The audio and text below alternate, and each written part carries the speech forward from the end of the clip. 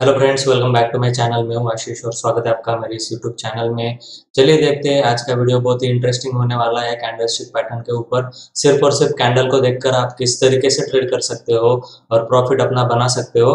ज़्यादा आपको नॉलेज होने की ज़रूरत नहीं है फंडामेंटल टेक्निकल इतना कुछ देखने की ज़रूरत नहीं। सिंपल मैं आपको इंडिकेटर बताऊँगा।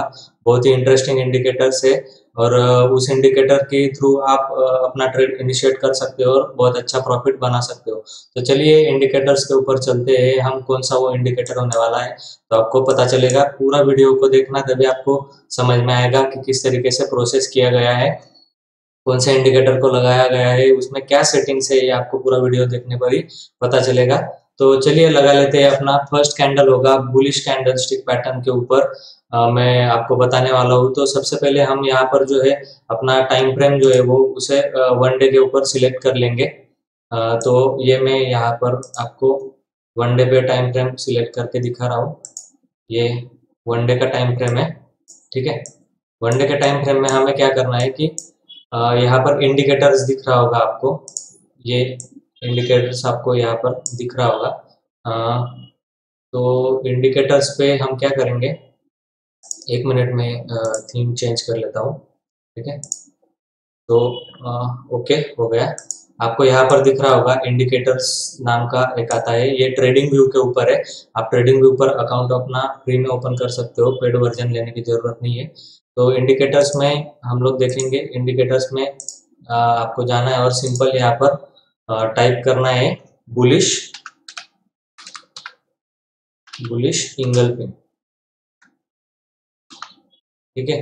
तो ये ऊपर वाला फ़र्स्ट जो है bullish engulfing automatic finding script तो ये आपको आपके चार्ट पर अप्लाई कर लेना है इस तरीके से। ठीक है? अभी ये जो है चार्ट पर अपना अप्लाई हो गया है। आ, तो इसकी कुछ सेटिंग्स है मैं आपको बता देता हूँ। जैसे कि कलर चेंज करना इसकी सेटिंग्स में आप यहाँ पर जा सकते हो। सेटिंग्स में जाने के बाद में आपको दिख रहा होगा कि ये कलर चेंज करने के लिए दिखा रहा है। तो हम लोग यहाँ पर आ, कोई भी कलर अपना सिलेक्ट कर सकते हैं ब्लैक कर सकते हैं ग्रीन कर सकते हैं। पर मैं बताता हूँ आपको इसे येलो ही रखना है ठीक है? ओपेसिटी जो है वो हंड्रेड हंड्रेड रखना है और इसे कट कर देना है ठीक है? तो वन डे के चार्ट पे बुली सिंगल फिंग कैंडल लगा लिया है हमने और हम लोग अभी आइडेंटिफाई करेंगे क्योंकि ये वन डे की कैंडल है तो एक दिन की एक कैंडल होती है। तो आप लोग यहाँ पर देख पा रहे होंगे कि आज के दिन हमें ये कैंडल नहीं मिली है। तो हम लोग दूसरा स्टॉक देख लेते हैं कि दूसरे कौन से स्टॉक में आपको ये कैंडल मिल जाती है। तो रैंडमली मैं यहाँ पर आपको एक एक स्टॉक बता रहा हूँ। तो आप लोग देखिए कि कौन से आज के दिन ये कैंडल किस स्टॉक पर जाकर बनी है। तो हम लोग देखते हैं। नहीं मिला तो कोई टेंशन वाली बात नहीं है हम लोग उसे प्रीवियस डेज़ में आइडेंटिफाई करके फिर देख लेंगे कि किस तरीके से ट्रेड मिलता है हमें। ठीक है? तो आज के दिन हमें नहीं मिल रही है वो कैंडल किसी भी स्टॉक के ऊपर। तो हम लोग रैंडमली कोई भी एक लगा लेते हैं जहाँ पर बनी होगी। चलो यहाँ पर देख, देखते हैं कि ये कैंडल बुलिश इंगल्फिंग यहाँ पर बनी हुई है। आप देख सकते हो हमने इसे येलो कलर दिया है। तो येलो कलर में आपको ये कैंडल दिख रही होगी। ये कैंडल है वो। तो इस पर ट्रेड कैसे करना है? इसका क्या मीनिंग हुआ? ठीक है? इंगल्फिंग करना मतलब क्या? इंगल्फ करना मतलब क्या? कि प्रीवियस जो ट्रेंड था, वो डाउन ट्रेंड था, अभी ट्रेंड जो है वो शिफ्ट होने लगा है। ठीक है? अब ट्रेंड की तरफ़ अभी ट्रेंड शिफ्ट होने लगा है। तो हम क्या करेंगे? एक बियरिश कैंडल रेड कलर की यहाँ पर अभी फॉर्म हुई है और उसके दूसरे दिन एक बड़ी सी बुलिश कैंडल उसे क्या कर रही है? उसे इंगल्फ कर रही है मतलब उससे एक बॉडी से बड़ी कैंडल नीचे से लेकर ऊपर तक उसे क्या कर रही है? अपने अंदर जो है, वो ले रही है। तो इसे हम यहाँ पर भी देख पा रहे होंगे। ये देखिए, एक रेड कैंडल बनी और उसके बाद में जाकर एक बड़ी सी ग्रीन कैंडल बनी है। ठीक है? ये देख सकते हो आप। यहाँ पर एक रेड कैंडल बनी है और उसके बिल्कुल दूसरे ही दिन एक जो है वो बड़ी सी ग्रीन कैंडल बनी। अब ये कैंडल जो है, ना वो येलो दिख रही है आपको क्योंकि हमने इसे आइडेंटिफाई किया है मतलब चार्ट में लगाया है तो इसलिए येलो दिख रही है ताकि आसानी से आपको पता चल सके कि कौन सी फिन कैंडल बनी है। आपको मैं चार्ट में से इंडिकेटर को हटा देता हूँ हाइड कर देता हूँ तो आपको पता नहीं चलेगा। आ, आपको बिल्कुल भी समझ में नहीं आएगा कि इतने कैंडल्स में कौन सी कैंडल बुलिश इंगल्फिंग है। तो इसे इंडिकेटर को लगाने के बाद में हम आइडेंटिफाई कर सकते हैं आसानी से कि कौन सी कैंडल इंगल्फिंग कैंडल बनी है बुलिश इंगल्फिंग कैंडल बनी है। तो आप देख सकते हो यहाँ पर एक बुलिश इंगल्फिंग कैंडल बनी है। यहाँ पर एक बनी है बुलिश इंगल्फिंग और यहाँ पर एक बुलिश इंगल्फिंग बनी है। इसका क्या मीनिंग हुआ? जो रेड कैंडल बनी थी, उसको एक ग्रीन कैंडल ने ढक लिया है, ठीक है? मेरा ड्राइंग थोड़ा सा खराब है तो आप लोग समझ सकते हो उसे। तो इस तरीके का एक बुलिश बड़ा कैंडल एक छोटे रेड कैंडल के बाद बनता है तो इसे कहा जाता है बुलिश इंगल्फिंग कैंडल तो इस पर अभी ट्रेड कैसे करना है, मैं आपको बताता हूँ। जैसे ही इस कैंडल के ऊपर ब्रेकआउट दे स्टॉक इस कैंडल के ऊपर ब्रेकआउट दे स्टॉक तो आप इसे बाय कर सकते हो, ठीक है? मैं आपको यहाँ पर दिखा देता हूँ कि कैसे इसे बाय करना है, ठीक है? तो ये आप, हम लोग ये कंसिडर कर लेते हैं कि अपने पास ये है, एक बुलिश कैंड इंगल्फिंग कैंडल बनी है, जो रेड कैंडल के बाद में एक ग्रीन कैंडल बनती है। तो इसके ब्रेकआउट पर हमें ट्रेड को बाय कर लेना है मतलब स्टॉक को बाय करने, कर लेना है। और हमें स्टॉप लॉस रखना है उसी ग्रीन कैंडल का, जो प्रीवियस बुलिश इंगल्फिंग कैंडल बनी थी, उसी कैंडल का लो जो है, वो हमें उसके नीचे अपना स्टॉप लॉस रखना है। मतलब आपकी एंट्री जो है, वो एंट्री इस कैंडल के ऊपर होगी, यहाँ पर कहीं पर आपकी एंट्री होगी, और स्टॉप लॉस आपका इसी एरिया में आपका स्टॉप लॉस होगा।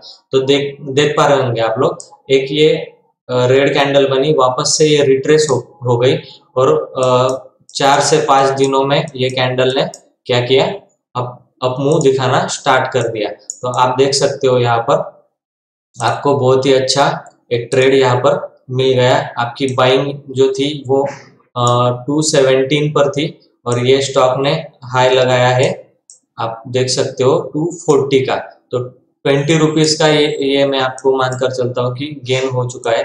मतलब अगर आपके पास वन थाउज़ेंड क्वान्टिटी होती, वन के क्वांटिटी होती तो आपको बीस हज़ार का यहाँ पर प्रॉफिट हो चुका होता। मतलब आप मल्टीप्लाई कर सकते हो। अगर सौ क्वांटिटी होती आपके पास तो आपको कितना प्रॉफिट हो जाता? हंड्रेड मल्टीप्लाई बाय ट्वेंटी, जो भी आंसर होगा, वो आपको यहाँ पर अपना प्रॉफिट हो जाता। ठीक है? तो ये हो गई एक कैंडल जिसे आप ट्रेड कर सकते हो जो है बुलिश इंगल्फिंग कैंडल इसी तरीके से आप सेलिंग साइड में बियरिश इंगल्फिंग कैंडल भी ट्रेड कर सकते हो। तो हम लोग पहले बुलिश को हटा लेते हैं, ठीक है? या फिर रहने देते हैं, चलो इसे भी। और यहाँ पर इंडिकेटर्स में जाकर हम बियरिश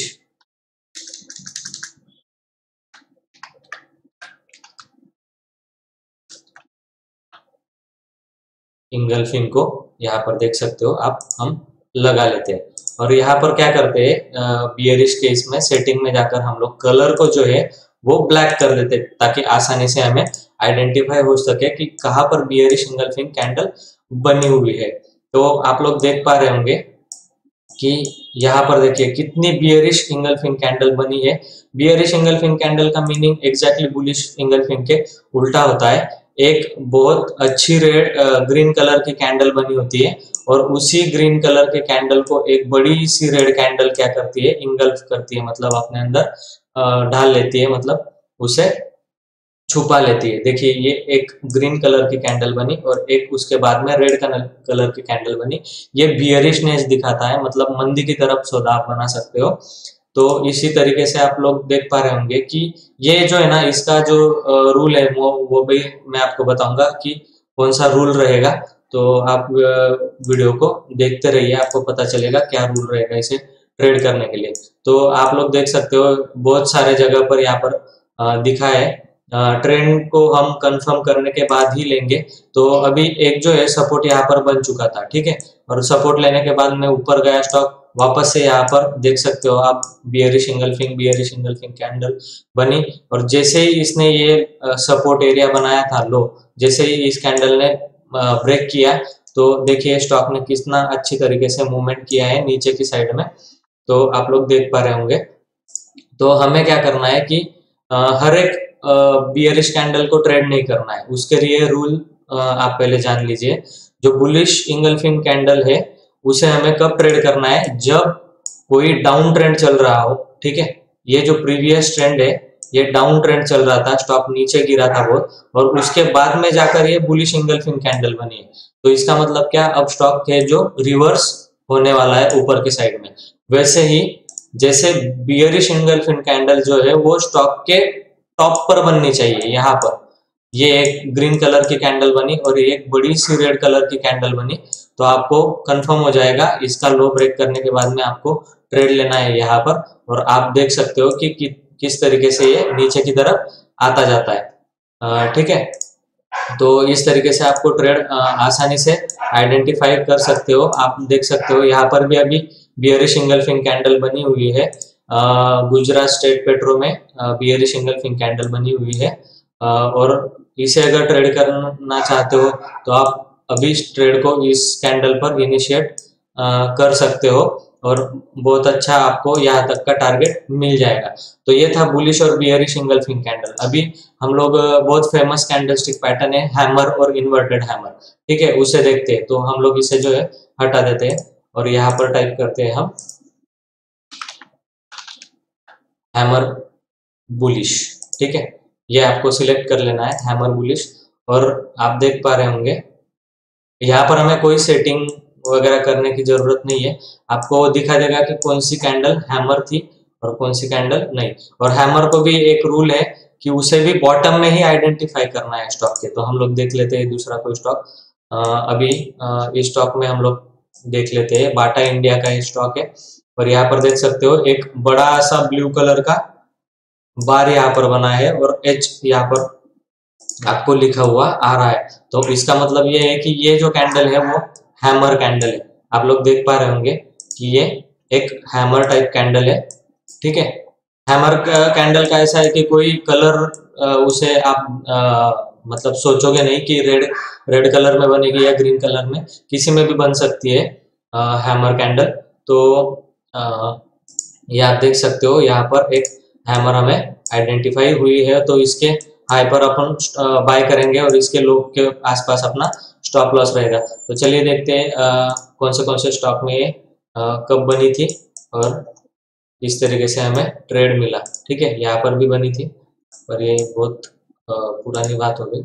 अभी लेटेस्ट एग्जांपल में हम लोग देखते हैं कि हैमर कहाँ पर बनी। हमें बॉटम में देखनी है हैमर बॉटम में बननी चाहिए तो आपको चार पाँच दिन का या स्विंग ट्रेड जो है, वो बहुत अच्छी तरीके से मिलेगा। ठीक है?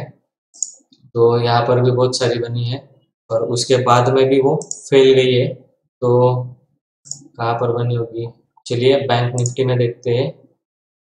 इंडेक्स में भी यहाँ पर भी नहीं बनी है। यहाँ पर कोई भी डेली के चार्ट में। रिलायंस में देखते हैं कहाँ पर बनी है। यहाँ पर भी नहीं है। एच डी एफ़ सी में देखते हैं। बजाज एस बी आई हमें ना ढूंढना पड़ेगा। आपको है ना थोड़ा रिसर्च करना पड़ेगा थोड़ा टाइम देना पड़ेगा। तो तब जाकर आपको ये आइडेंटिफाई होगी हैमर कैंडल ठीक है? तो यहाँ पर ये मिली अपने को देखते हैं चलो यहाँ पर मिल गई अपने को कैंडल ठीक है? ट्रेंड को प्रीवियस ट्रेंड को ही हम लोग देखेंगे। आ, अभी देखिए यहाँ पर एक आ, हैमर कैंडल बनी है। तो इस इसका ये था कि पिछला जो ट्रेंड था वो जो ट्रेंड था, वो निगेटिव था, ठीक है? गिर रहा था स्टॉक और ऊपर जाते टाइम यहाँ पर आपको आइडेंटिफाई हुई हैमर कैंडल तो अभी ट्रेड कब लेंगे? जब ये हैमर का हाई क्रॉस करेगा स्टॉक ये जो हाई है हैमर का, ये क्रॉस करेगा मतलब थ्री थाउज़ेंड थ्री हंड्रेड के ऊपर अपने को ट्रेड करना है। तो इस कैंडल में यहाँ पर आपका ट्रेड हो गया और जो हैमर बनी है, उसका लो आपका स्टॉप लॉस रहेगा।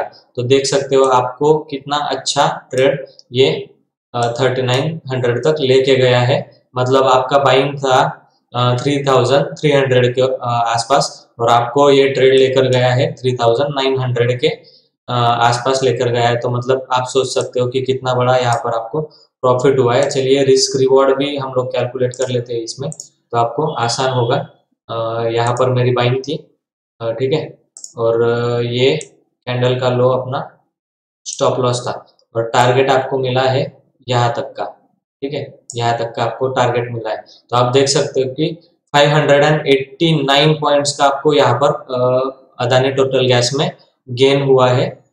तो इस पर आप अपनी क्वांटिटी मल्टीप्लाई कर सकते हो। तो कितना आपका रिस्क रिवॉर्ड रेशो हो गया, ठीक है? इसी तरीके से आप हैमर को आइडेंटिफाई कर सकते हो। तो आज हमने तीन जो है कैंडल स्टिक पैटर्न यहाँ पर देखे एक तो बुली सिंगल फिंग बियरी सिंगल फिंग और हैमर हैमर का रूल मैं आपको बता देता हूँ हैमर कभी भी बॉटम में ही बननी चाहिए, ठीक है? जो आप लोग देखते हो हैमर आपको बॉटम में ही बननी चाहिए। तो ये एक हैमर जो है, वो यहाँ पर बनी थी, इसके ऊपर आपने ट्रेड लिया, पर ये जो है आपका दूसरे तीसरे दिन ही स्टॉप लॉस हिट कर दिया। तो कोई बात नहीं, फिर भी आप देख सकते हो कि ट्रेंड इसने कितना पॉजिटिव दिखाया है यहाँ से। क्योंकि ये स्टॉक जो था, वो गिर रहा था और ऊपर जाने वाला था वो ब्रेकआउट देकर भी आपको ट्रेड में अच्छा खासा प्रॉफिट हो गया। और एक देख लेते हैं कौन सा आपको मैं अच्छा ट्रेड दिखाता हूँ। कोई कोई ट्रेड में आपको स्टॉप लॉस भी देना पड़ेगा, ठीक है? ये देखिए, ये बहुत ही ब्यूटीफुल्ली यहाँ पर नीचे की ओर बना था, जो प्रीवियस ट्रेंड था, वो था निगेटिव ठीक है? और निगेटिव ट्रेंड में ही आपको जो है हैमर यहाँ पर मिल चुका था।